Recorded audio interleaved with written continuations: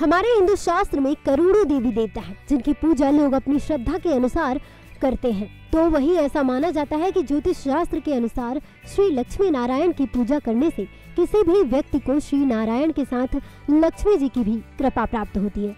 तो वही ज्योतिष के अनुसार ऐसा माना जाता है कि लक्ष्मी नारायण की पूजा करने से लंबी आयु के साथ साथ स्वास्थ्य, समृद्धि, आध्यात्मिक विकास, व्यापार में सफलता और भौतिक सुखों की प्राप्ति होती है। तो वहीं आज हम अपनी इस रिपोर्ट में बताएँगे कि किस तरह से लक्ष्मी नारायण को प्रसन्न करना चाहिए और किन बातों का विशेष रूप से ध्यान रखना चाहिए। आपको बता दें कि जन्म पत्रिका के अनुसार चंद्रमा और शुक्र को स्त्री ग्रह माना गया है। इन दोनों ग्रहों की पूजा करने से महालक्ष्मी की विशेष कृपा प्राप्त होती है। साथ ही आपको बता दें कि इन दोनों ग्रहों को प्रसन्न करने के लिए घर में काले और नीले रंग का प्रयोग बिल्कुल भी नहीं करना चाहिए। इसी के साथ ही आपको बता दें कि अपने घर के दक्षिण पूर्वी भाग में रसोई घर ज़रूर बनाना चाहिए।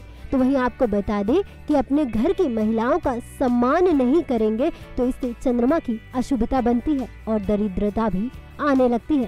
साथ ही बताते चले कि सुबह देर से उठने और रात में देर तक जागने से भी चंद्रमा का दुष्प्रभाव होने लगता है।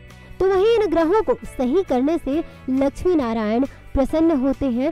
साथ ही लक्ष्मी नारायण जी को प्रसन्न करने के लिए सुबह जल्दी उठकर स्नान कर सफ़ेद या गुलाबी कपड़े पहनने चाहिए। साथ ही गेहूँ के आटे का दिया बनाकर लाल कलावे की बातें के साथ देशी घी में दीपक जलाना चाहिए।